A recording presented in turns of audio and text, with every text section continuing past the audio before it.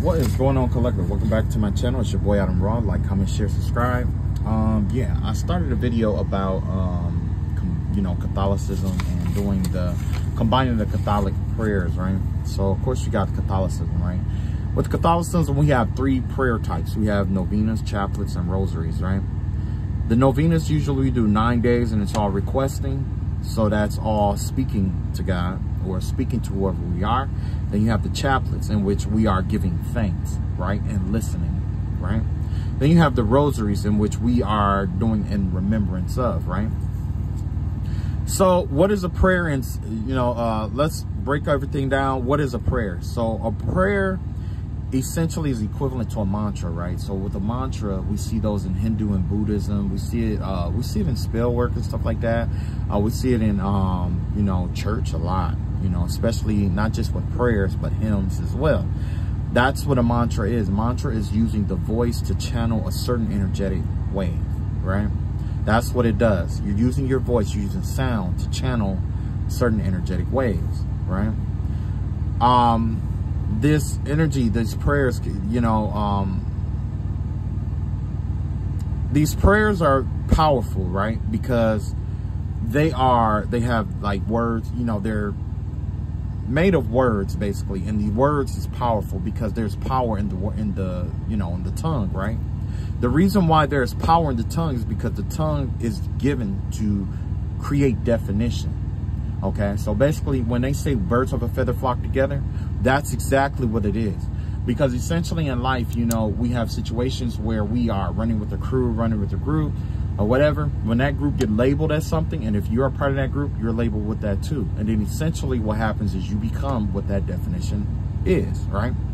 So that's why there's power in the in the tongue, right? Because the power in the tongue has the power to release bind and loose things on people's lives, including your own. Definition is powerful, right? Because it decides what is and what isn't, what shall and what shall not be through meanings, right? And yeah, I started the video and then I had to re, you know, redo my video because I had to go look at a prayer, which we're going to look at in a moment here.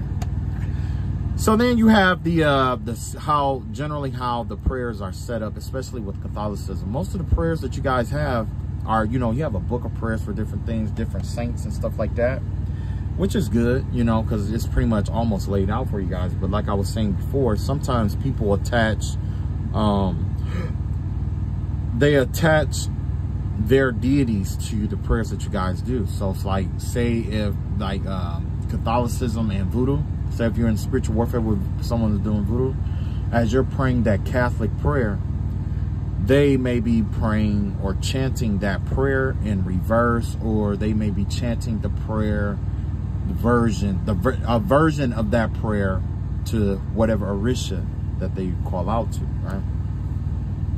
So essentially here, you, we have, uh, with prayers, it starts off with an acknowledgement the Catholic prayers are a lot, there's a lot of acknowledgement in here.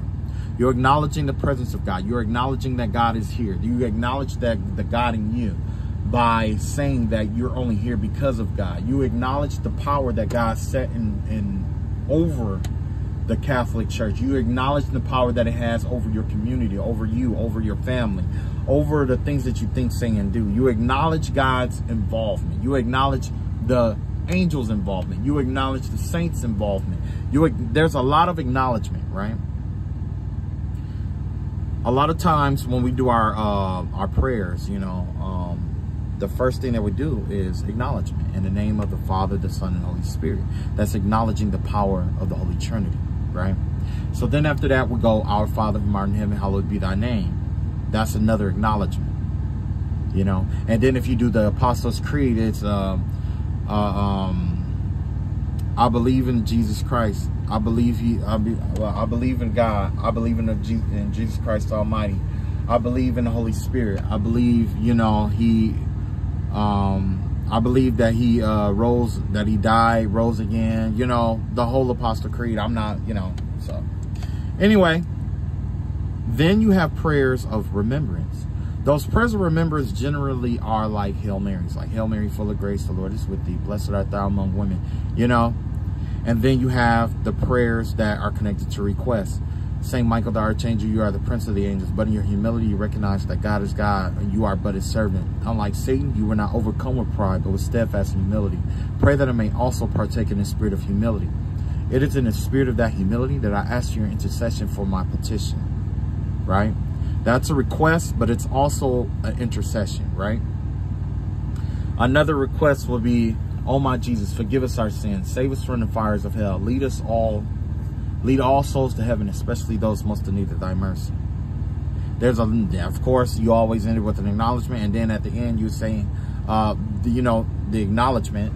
With the acknowledgement, it usually goes something like, uh, uh, oh, powerful Almighty God, who by a prodigy of goodness and faith has appointed this uh, glorious Archangel Saint Michael, the Archangel, Prince of thy church. You see? And then you can always end it with in the name of the Father, the Son, and the Holy Spirit. Amen. So there's always the Trinity before, the Trinity after, generally, right? So with, like I was saying before, the reason why this is important with spiritual warfare is because when you have a book, you have a set, the, the devil knows exactly what prayers you're going to run to in order to try to get something off of you. He knows exactly what it is, and he may even put something in a way to keep that, keep you from accessing that, or by trying to uh, manipulate it in some way, shape, or form, right? So it's all for me to me it's always good to have your own personal prayers i'm not telling you what to pray here you know if you're good with the book of prayers or certain prayers that is 100 percent fine I'm not here to change you or change your uh, how you do things at all. This is just uh, ideology, and this is just to give you something to think about, right? All those book of prayers that you guys have, the book of prayers that you guys have, it came from somewhere, it came from someone's mind. And by practicing those for centuries, it has given those prayers power, right? But what has also equal to power is when you go before God and you take the time to create something new with him. Do you know why Psalms is so powerful? Psalms is powerful because it is a communication from from David to God. It's it's a poetry book from David to God. It's a poetry book. It's a book of poetry. You see? So, prayer is a key, right? It's like a key. Who you pray to and what you're praying for is a door. That key, you can, as you change the key, well, as you change the door, it's going to require a different key. So why not custom make a key for a custom made door? Is essentially what I'm, you know. But anyway, um, this video is a lot, that's a lot lot, lot faster than the last video because I was stumbling over a lot of stuff and I like, uh, uh, uh. but you know, that's how it is when you're trying to talk about something of God though, you know, because the devil don't want that kind of stuff to get out. He don't want it to get out. You see what I'm saying? Don't want it to get out. So, um, basically, I'm going to create a prayer with you guys today, and I'm going to show you how it goes, okay? So with Catholicism, uh, yeah, Book of Prayers. Okay, so generally this was this originally was the output outline that I was going to use. Our Father, Hail Mary, and a Remembrance. Our Father, Hail Mary, and a Remembrance. But you know, uh, a rosary is basically the opposite of this, right? That's basically the opposite. I didn't think about that until after I wrote it. Whatever. Okay. So anyway, what I'm going to do here is I'm going to take the time to build a custom prayer that contains the novena, the chaplet, and the rosary together, okay? Now, I'm not going to go into super length or whatever, and this is off the top of my head, right? On the last video, I was doing Archangel Uriel, right? I'm going to do St. Gabriel this time.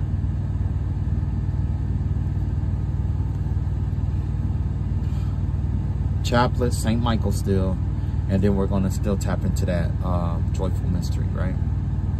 Okay. So basically, if I was going to use all three of these together, I would do something like uh, in the name of the Father, the Son, and Holy Spirit. Amen. Acknowledge the Holy Trinity. And then I will go into uh, the novena by, you know, St. Gabriel. St. Gabriel, the Archangel, you are the, God has uh, appointed you as messenger of the angels. Wait, St. Gabriel, the Archangel, you are the, wait, St. Gabriel, um,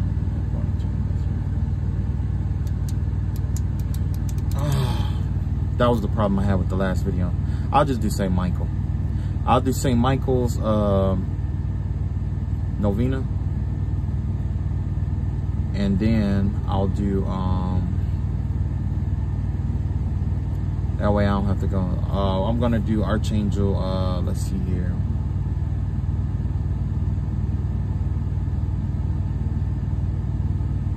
Uriel, Archangel Uriel, chaplet. I'm to use his chaplet. And then we're going to do the joyful mystery, right? Okay, so here we go. In the name of the Father, the Son, and the Holy Spirit, amen. Saint Michael the Archangel, you are the, we honor you as a powerful protector of the church and guardian of our soul. Inspire us with your humility, courage, and strength that we may reject sin and perfect our love for our Heavenly Father. And your strength and humility slay the evil and in the heart so that nothing will keep us from God. Saint Michael the Archangel, I ask for the zeal to see, uh, the zeal to serve God faithfully right? And then we'll stop right there. And then we'll say, Holy, holy, holy Lord, God of power and might. Heaven and earth are full of your glory. Glory be to the Father, and to the Son, and to the Holy Spirit, as it was in the beginning, is now, never shall be, world without end. Amen. Holy, holy, holy Lord, God of power and might. The Lord is full of your glory. The earth is full of your glory. Glory be to the Father, and to the Son, and to the Holy Spirit, as it was in the beginning, is now, never shall be, world without end. And the joyful mystery that we're going to tap into will be the um, the uh, Jesus at the temple. You know the one, right? Okay.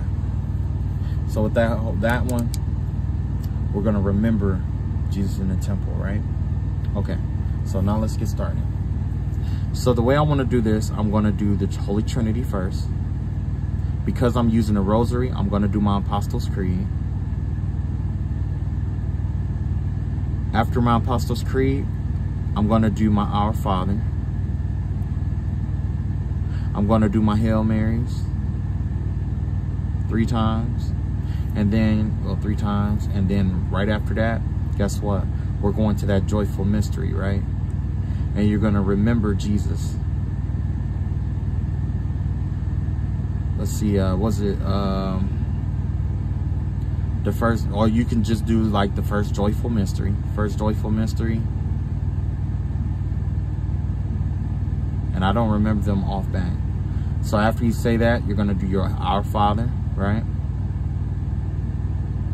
And then after you do your Our Father, guess what? Instead of doing the Hail Marys, you're going to do your um, Holy, Holy, Holies, right? Holy, holy, holy Lord, God of power and might. The heaven and earth is full of your glory. Glory be to the Father, and to the Son, and to the Holy Spirit. As it was in the beginning, is now, never shall be, world without end. And when you do this, what you're going to be thinking about is that first, the same thing that you contemplate for that first joyful mystery. You see what I'm saying? And then after you do your 10, which is on the Rosary B, you're going to end it with St. Michael the Archangel. You are the Prince of the St. Michael the Archangel, we honor you as a powerful protector of the church and guardian of our soul. Inspire us with your humility, courage, and strength that we may reject sin and perfect our love for our Heavenly Father. So you're going to do that St. Michael prayer, right?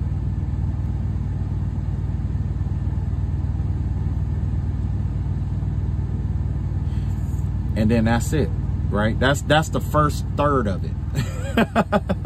because what happens is you run out of these these St. Michael prayers because you got the St. Michael prayer for, you know, honoring him as a protector.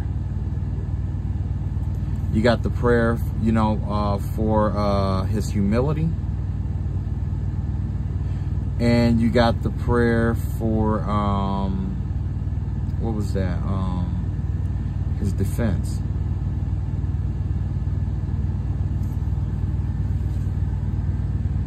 But in all honesty, I would do the uh, humility one.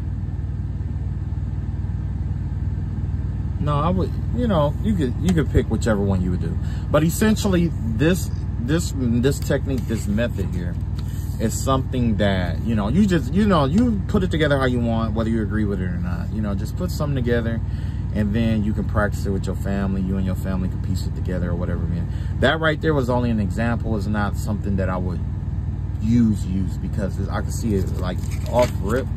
I can see a lot of inconsistencies where, um, honestly, with the joyful mystery, if I was to do that, I would go back to um, the part, the uh, Nov the part of the St. Michael Novena where you do it nine days in a row. You know the part where the zeal to, you know, blah blah blah blah blah, or um, that I might see the least of my, see the light of God in the least of my brothers and sisters. You know what I'm saying? Or St. Michael, uh, pray for me that I may see the zeal, you know, the, the um, light of God in the least of my brothers and sisters. And I would do those, those nine ones, you know. But then again, I wouldn't do 10 holy, holy, holies either because that'll basically you'd be there all day. So I would do maybe three of those and then one of those, one out of the nine for the novenas. You see what I'm saying? But either way, you know, you just, you know, doctor it up.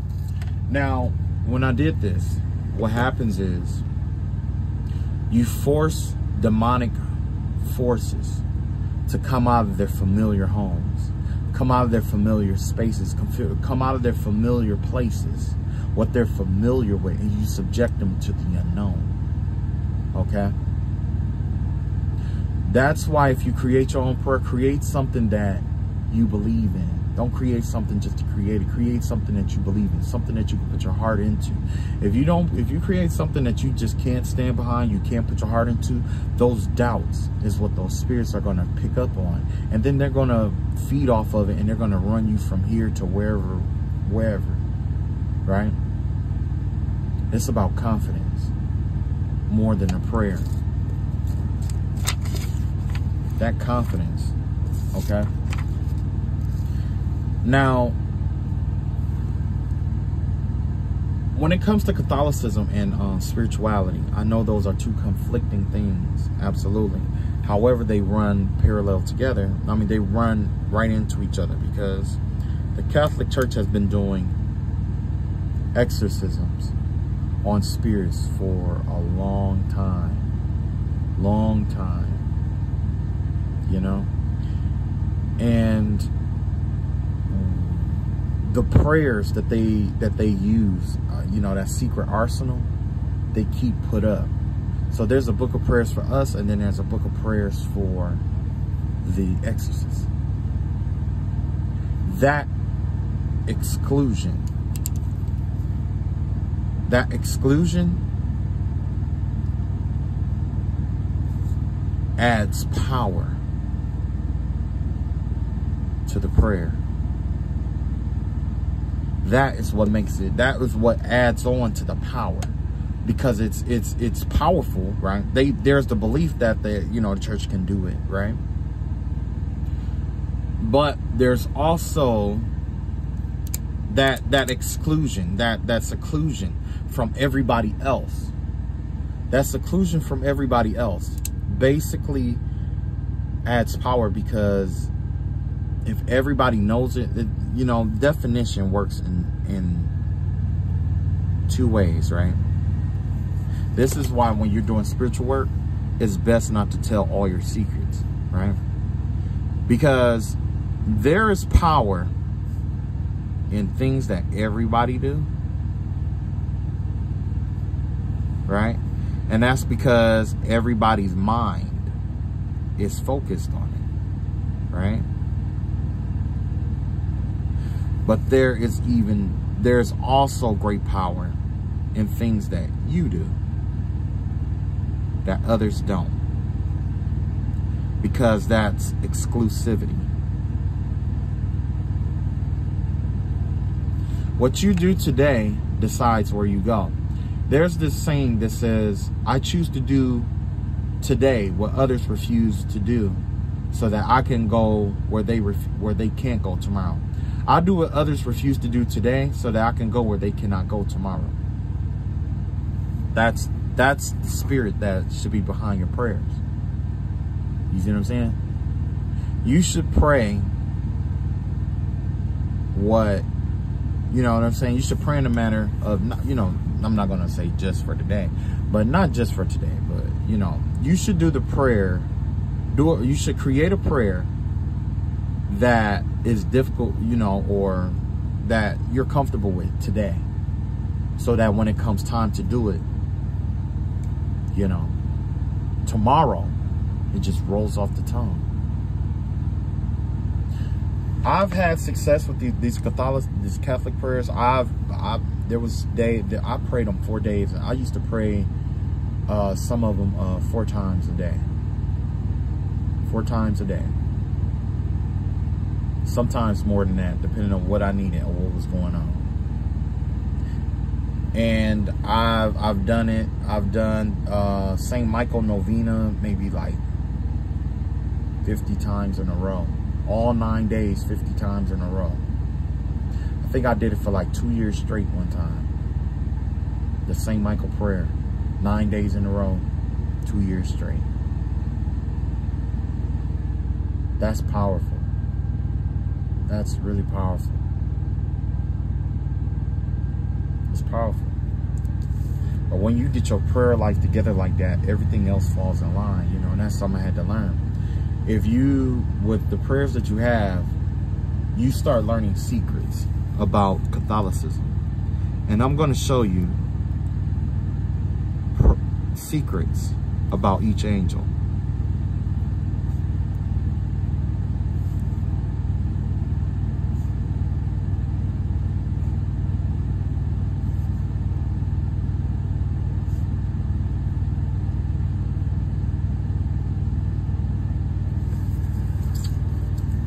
The secret behind St. Michael, well, not secret, secret, but when I was praying this prayer, when I would pray the St. Michael prayer, one thing that St. Michael told me was about, it was, it was about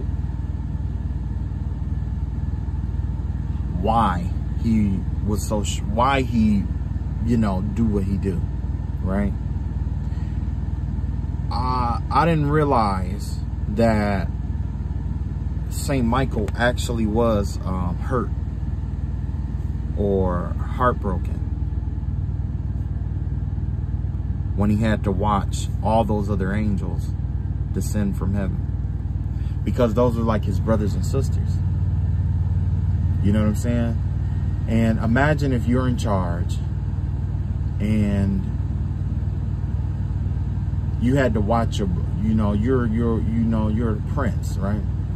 And you had to watch your brothers and sisters be thrown into a prison or a jail cell or whatever. And you just had to watch them go into torment. That, that will, that would change you. It would change you. There was something he saw in hell that just, it was just unbelievable. But I'm glad he didn't rebel. I'm glad he didn't. Then there's Archangel Uriel, right? When I prayed the prayer with Archangel Uriel, his energy was really lighthearted. It's really it's really light, lighthearted. It, it's firm, okay? It's really firm. It's strong. It's but he loves when people come to him to try to learn stuff. He has the embodiment of like a teacher. But he will not just teach anybody. You see what I'm saying? Archangel Uriel, he he just I don't know. It, it just he's just like a really kind, patient teacher is what I get. Things that you want to know, he'll teach you. Things that you want to see, he'll show you. He just that was the secret behind him. He just loves to teach. He just loves. It's like he just loves being around people because they're like children, essentially, to him, you know? And then Archangel Raphael. Archangel Raphael was assigned to a lot of different jobs. But what really made me ask Raphael, like, why did you become a healer? You know what I'm saying?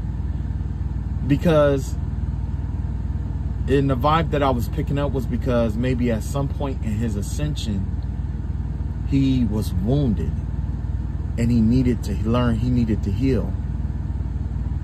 You see what I'm saying? At some point, the vibe that I got from him was that he was wounded some kind of way. He was wounded, or he knows what it's like to be wounded. He knows what it's like to be wounded. He knows what it's like to be hurt. And as a result, he geared towards healing. That's just like Archangel, you know, St. Michael. That That's the reason why I had a question about that. Maybe at some point, maybe that's what that hell thing was. It made him feel powerless.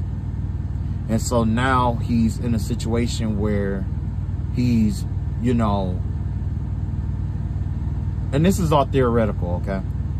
Because, I mean, don't get me wrong, I got my downloads, so, you know, but for devout Christ, you know, Catholics and stuff, I know you guys got different point of views, but um, the vibe that I was getting from St. Michael was like, you know, it really broke his heart to watch his brothers fall like they did. And I'm wonder if the reason why he's so protective is because at some point in his incarnation or his ascension or his development, he felt powerless. That's just like if you were to go, if you were being bullied, right? Uh, and most people that end up being bullied, eventually they learn to defend themselves, right? That's what brought me to uh, St. Gabriel. St. Gabriel told me that when the earth did all the stuff that he did, that was him. It wasn't just God, but it was him. That was the that was his his power. Saint Gabriel has been he's been waiting a long time to find at least one soul that he didn't have to judge, you know. Hold on. Let me turn that on. He had went he was waiting for one soul. He just wanted just one soul, at least just one, that was pure enough to not be condemned to hell. You know what I'm saying? That was his thing, like it, just that one soul. That's why you saw him come to Jesus' aid all the time. It was all, not all the time, but most of the time, it was St. Gabriel. It was Gabriel going to, to Jesus, delivering messages and things like that. Gabriel was his guardian angel. And Gabriel basically Jesus was Jesus is the soul that Gabriel had always wanted to work with. Always. Because it seemed like in his life he always had to condemn people to hell or there was some miscommunication or he had to his judgment, you know what I'm saying, on certain people for whatever. And he it just got boring. Well, not boring, but it just became monotonous. So he wanted to experience at least one soul, just one, that could follow all the rules. And guess what happened when he when he found that one soul? That one soul sacrificed himself to save everybody else. Do you know how hurtful that is to let's say if you had like um you had a job, right? You're CEO. You're looking for somebody to take over your company. And you just want one good candidate, one good candidate, just one good candidate, one good candidate. That one good candidate comes in, right? Train them, teach them everything. You're excited. You go home talking about it. You come to work ready. They come to work ready. It's a lot of excitement and everything. And then all of a sudden, a layoff has to come, right? and you're thinking, okay, well, you know, we have to lay some people off, whatever. And this person sacrifices their salary. Say, okay, well, usually you'll have to sac you have to cut, let's say, 10 people. What if you cut me instead and keep those 10 people and those 10 people keep their job and the salary you pay me, you pay them and keep them working. That's that's sort of this that's the gist of what happened. The gist.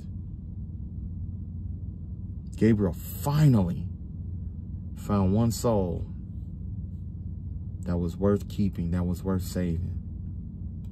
And he sacrificed himself. So, there's other stories, but you know, that's just what I got anyway, that's all I got for you guys. Um, like I say, you know, I'm not giving you guys, telling you guys what to think, just something to think about. Um, you know, especially with these uh, prayers, you have a lot to work with and you can put them in any kind of combination of form. You can even convert them over to Greek or Latin if you choose to, you know, Latin prayers. Santa Michaela Arcangeli, defender nos in prelio, contra nequitium, I can't remember the whole thing. So, yeah. all right, you guys. All right. I love y'all all. And um, I believe, uh, okay, so the reason why, oh, I forgot. The spiritual aspect of this, okay, so especially if you're, you know, going through spiritual warfare. When you, after you develop this prayer, right? you can, uh, you know, the reason why I'm, I combined those prayers and made it with the rosary is because, you know, most people have a rosary nearby. And if you remember the gist of it, you can practice it as a rosary. You see what I'm saying? And that's why you got your rosary beads. Or you can create one and practice it as a novena. Whereas, you know, one of the novenas for St. Michael is, um, what I pray, you know, for the zeal to see the least of God. I mean, see the um, zeal to live my life in accordance to Christ's teachings, right? That's a novena. You don't have to always use that novena. I mean, you have to always use that phrase. You can say something like, I pray that the Lord keeps his hedge of protection over me today. I pray that I be the light in the world that others may need. You see what I'm saying? That novena is malleable. You can change that. You don't have to stick with that one. Then, of course, you got your chaplets, right? Now, the chaplets, they're pretty cool, but, you know, um, the chaplets are um, almost the same as these prayers that I'm having you create now, or that I'm inspiring you to create now, because those chaplets, a lot of those are taken, it's like things that, like, say, um, Archangel um, Gabriel, right? He says, Holy, holy, holy Lord. No, he doesn't say that. That's Uriel. He says something, Hail Mary, Hail Mary, full of grace. Hail Mary, full of grace. Hail Mary, full of grace. Hail Mary, full of grace. That was his actual words that he spoke in the Bible. So you take bits and pieces of that, things that they actually said and repeated to channel their energy. God's word never comes back to him void. So if you take the words of archangels, um, prophets, and things of that nature, and you chant, you repeat them, put them in repetition, it will drum up and channel their energy for you, essentially, right? All right, that's all I got. I love y'all all. Y'all take it easy and uh, have fun with this. Uh, the next video, if you're watching this, more likely the next video isn't going to be really for you, but feel free to come through and um, I'll decide what religion I'm going to do next. All right, peace.